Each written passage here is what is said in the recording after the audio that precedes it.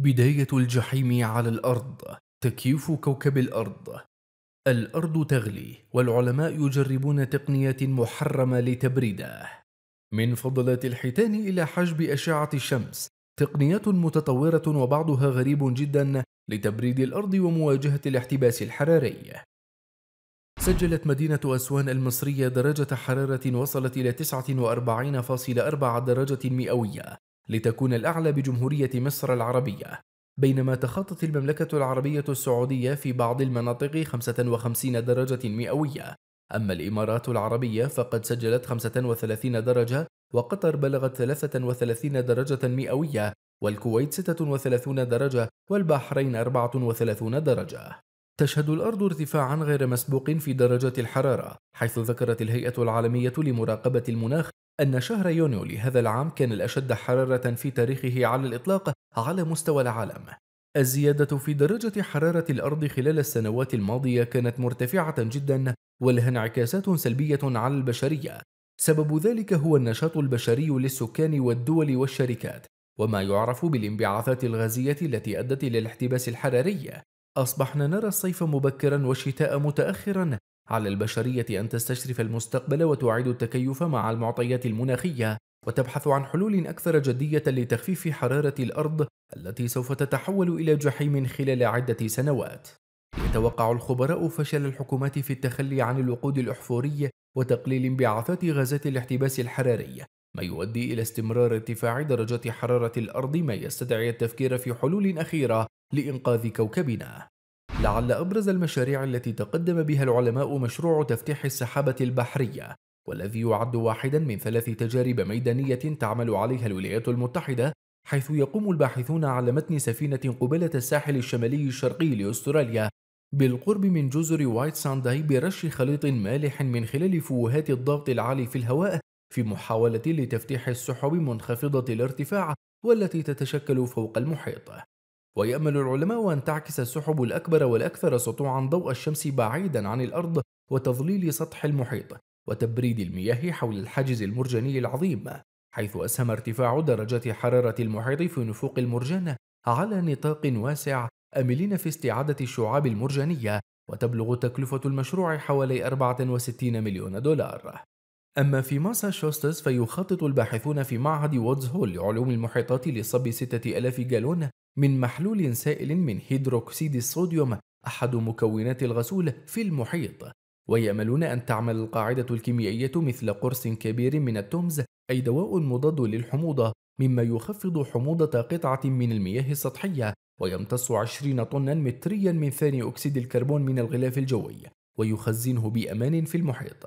قال العالم المشارك في هذا المشروع عندما تصاب بحرقة في المعدة فإنك تأكل قطعة من التومز التي تذوب وتجعل السائل في معدتك أقل حمضية. وقياسا على ذلك فإننا نضيف هذه المادة القلوية إلى مياه البحر ما يسمح للمحيطات بامتصاص المزيد من ثاني أكسيد الكربون من دون إثارة المزيد من تحمض المحيطات. كل ما نراه حتى الآن هو أنه آمن بيئيا. وتبلغ تكلفة المشروع الذي يطلق عليه تعزيز قلوية المحيطات نحو عشرة ملايين دولار.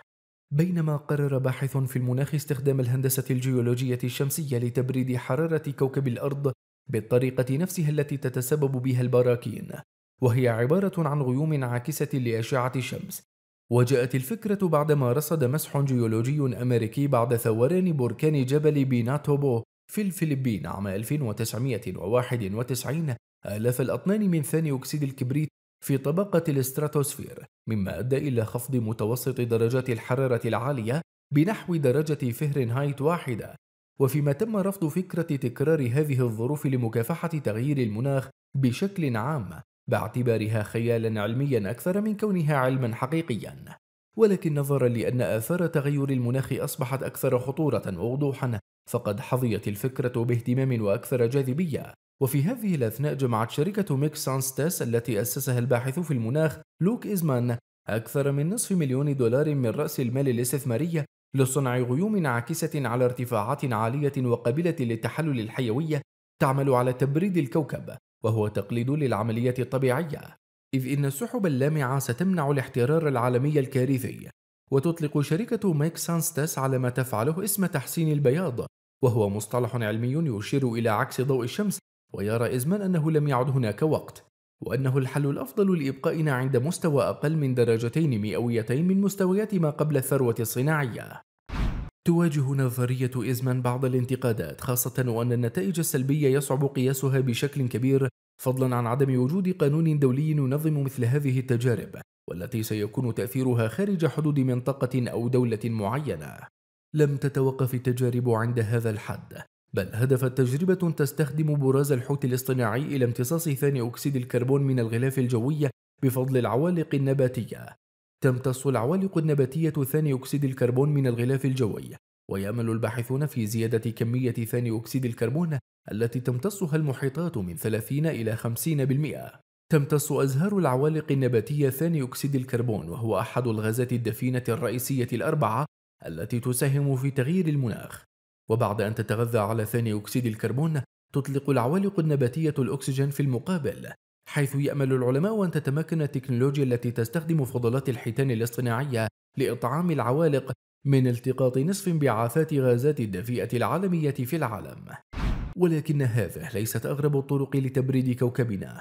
فهناك المزيد مثل تجربة رش السحب بملح البحر إذ تساعد جزئيات الملح على تكوين قطرات ماء صغيرة ولامعة في السحب تعكس ضوء الشمس بعيدا عن الأرض لتفادي تسخين الكوكب. ولكن حتى سنوات قليلة مضت كان العديد من العلماء يعارضون التدخلات البشرية خوفا من العديد من العواقب السلبية التي لا يمكننا السيطرة عليها والتي لا يمكننا التنبؤ بها. فالتدخل ضروري لكن علينا أن نكون حذرين للغاية في كيفية القيام بذلك. فعلى سبيل المثال يمكن أن يؤدي حقن ثاني أكسيد الكبريت في الغلاف الجوي إلى إتلاف طبقة الأوزون والتسبب في أمراض الجهاز التنفسي وإحداث أمطار حمضية إضافة إلى أن التكلفة الخاصة بهذه التقنيات تبلغ عشرات المليارات من الدولارات في العام الواحد لتبريد الأرض بمقدار درجة مئوية واحدة. إذا أعجبكم محتوى قناتنا يمكنكم دعمنا أو الإعلان على قنوات متع عقلك عبر رابط ألفان لاين في الوصف أسفل الفيديو.